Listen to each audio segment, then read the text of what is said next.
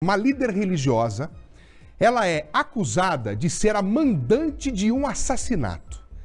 E essa mulher resolveu conversar pela primeira vez, com exclusividade, com o nosso balanço geral. A mulher é presa por envolvimento na morte de um outro religioso. O que, que essa mulher tem para revelar? É o que você vai ver agora na reportagem do William Bittar, uma história parece filme, hein? Ela está em prisão domiciliar.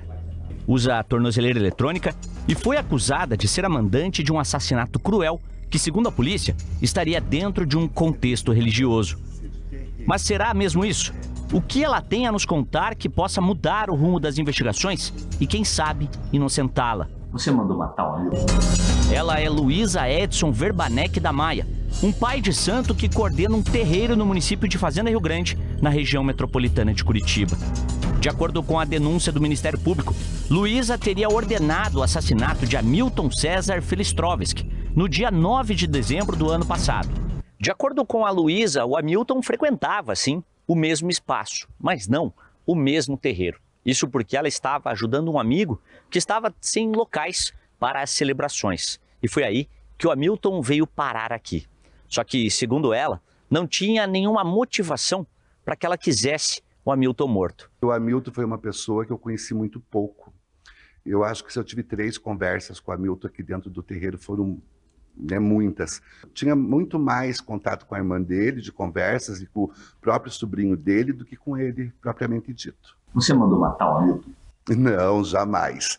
Isso é uma coisa que dentro da nossa religião, nós que somos comunidade axé, a gente acredita na vida.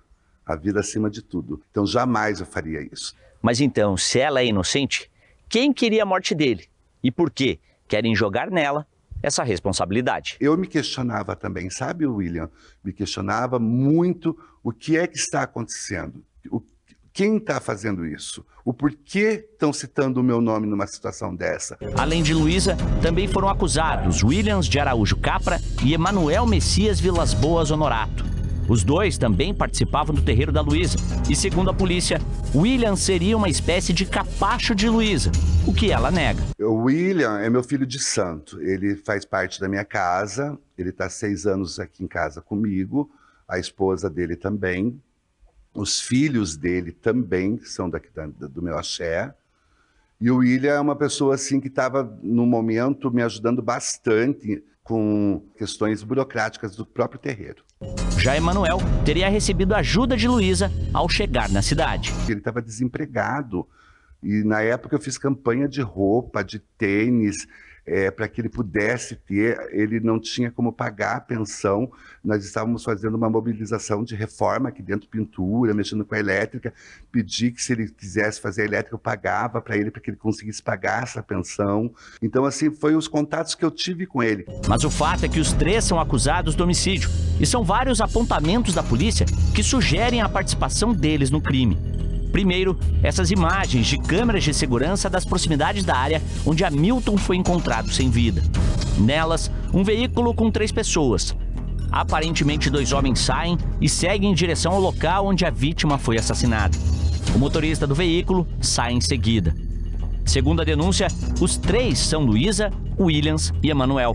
Mas somente Luísa está em prisão domiciliar por ter cinco filhos menores de 14 anos. Foi um choque, porque assim, no dia 9, que em tese é quando ele sumiu. Eu fui numa festa nesse dia. Na quarta, foi numa quarta-feira que eu acho que acharam o corpo dele.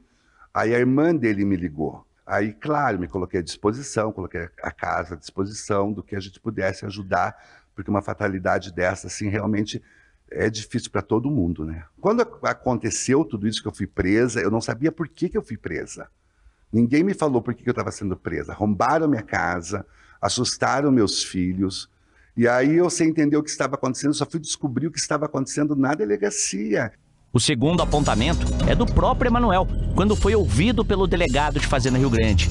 No vídeo, ele afirma que não teve participação no crime, mas que Luísa e o William sim. Eu sou inocente, eu não estava nesse dia, mas eu sei quem foi. Quem foi que fez isso com ele? O, o, o William. Ele é o que dirige para mãe para cima e para baixo.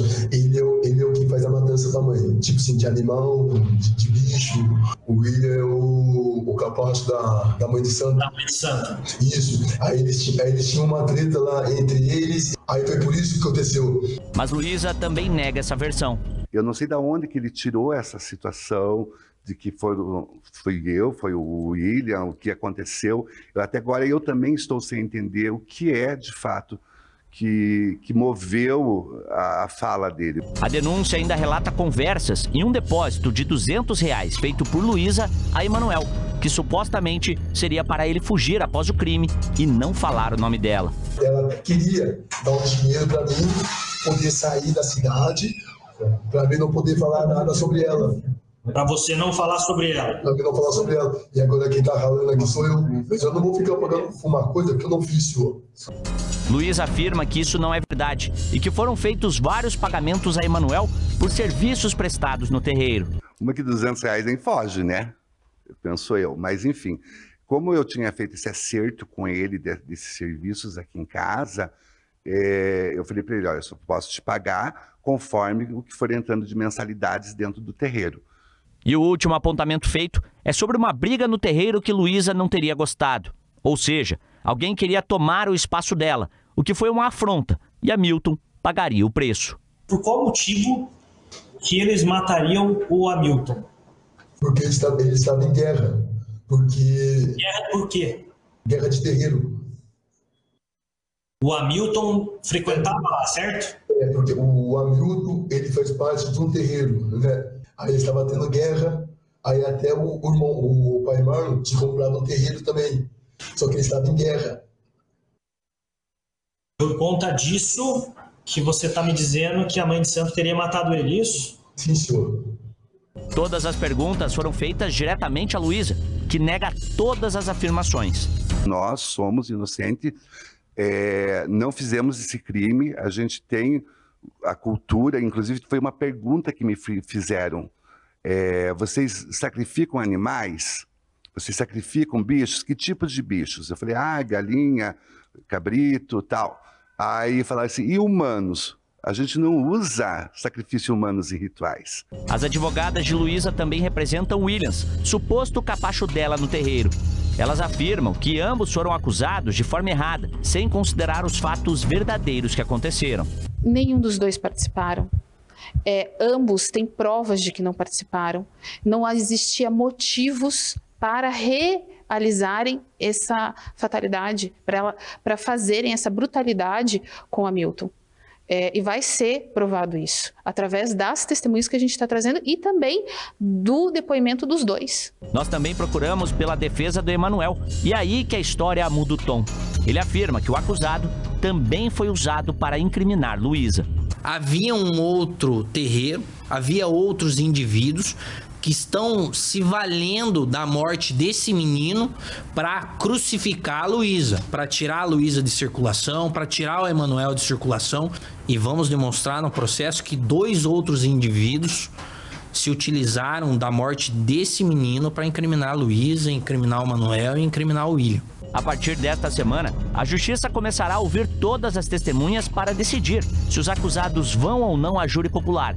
Mas por enquanto, a acusação permanece. Sinto que há uma perseguição, sinto que há algo que está errado que eu ainda não consegui entender, mas que com certeza a justiça vai esclarecer mais cedo ou mais tarde. Olha, a gente segue